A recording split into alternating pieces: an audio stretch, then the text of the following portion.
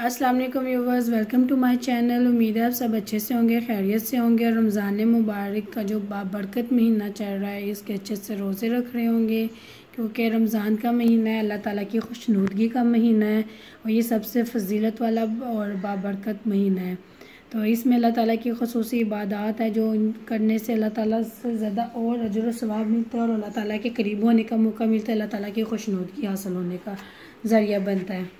तो अभी हम यही देखेंगे कि अल्लाह ताला के ऐसे कौन से वज़ाइफ है जो करने से अल्लाह ताला के हम और करीब हो सकते हैं। वैसे तो ये पहला शरा चल रहा है, पहला शर का भी ये ऑलमोस्ट ख़त्म होने वाला है तो इसमें भी ये नौवा रोज़ा चल रहा है। तो अभी हम देखते हैं कि नौवे रोज़े में पहले तो हम देखेंगे कि पहले शर की दुआ कौन सी है। तो पहले शर की हम दुआ देखने के बाद फिर हम देखते हैं कि जो इस रमज़ान मुबारक में जो नौवा रोज़ा है, इसमें हमें क्या पढ़ना चाहिए। तो इसकी तो पहली दुआ है कि या या क्यों बेरहमती का अस्तगीस। और उसके बाद यह है कि इसके जो रोज़ के जो वज़ाइफ हैं, उसमें रमज़ान शरीफ में रोज़ाना बाद नमाज़ तीसरा कलमा पढ़ने का है। तीसरा कलमा पढ़ने, पहला तीन मतलब पहला कलमा पढ़ना है।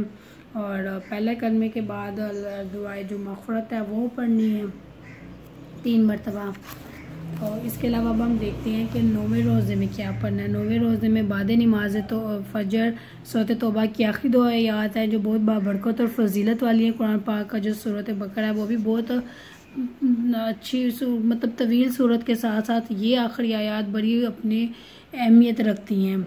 और उसके बाद बाद नमाज़ जहर, अव्वल रुकू है सोते बकरा का ग्यारह मरतबा। पहले पाक के शुरू में ही ये रुकू है और कुरान पाक की जो सबसे तवील सूरत है, वो सूरत बकरा ही है।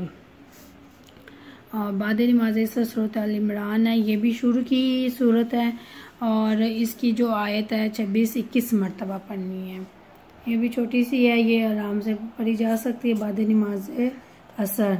और उसके बाद बाद नमाज़ मगरब, आखिरी दो आयात है, सूरत बकरा की ग्यारह मरतबा।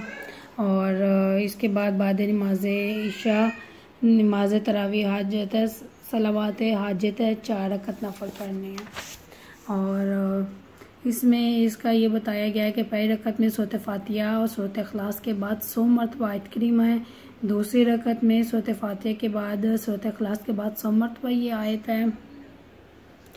और इसके बाद, तीसरी रकत में सोत फातिया और सोत अखलाक के बाद फिर ये सौ मरतबा आयत पढ़नी है। और फिर इसी तरह चौथी रकत में भी सोत फाते सोत अखलास के बाद सौ मरतबा रकत ये आयत पढ़नी है। और नमाज़ ख़त्म करके जो भी आपकी हाजत अल्लाह से मांगे इन पूरी होगी। थोड़ी सी तवील है बट अल्लाह ताला से अपनी हाजत रवा करने के लिए, अपने मंगवाने के लिए आप अल्लाह की तरह जितनी भी इबादत करें, उतनी कम है और दसवां रोज़ा है दसवें रोज़े में है कि बाद नमाज़ फ़जर, पंजम कलमा इस्तफ़ार ग्यारह मरतबा है और बाद नमाज़ ज़ोर दुआ कल्ब गम की सत्रह मरतबा है और बाद नमाज़ असर दुआ जमीला तीन मरतबा और बाद नमाज़ मगरब निजात दुआ निजात चालीस मरतबा है। और इसी के साथ साथ है बाद नमाज़ इशा सूर यासिन। सूरा यासिन कुरान पाक का दिल है, ये हर इंसान का दिल होता है, इस तरह कुरान पाक का भी दिल है, कुरान पाक का अपना दिल है जो धड़कता है तो सूरत यासिन है। बहुत से लोग तमाम करते हैं यासिन पर आने का, घरों में, महफिल में, और ये तो पढ़ते रहना चाहिए। अल्लाह ताला की फजीलत वाली, बरकत वाली जो सूरत है सूर यासीन।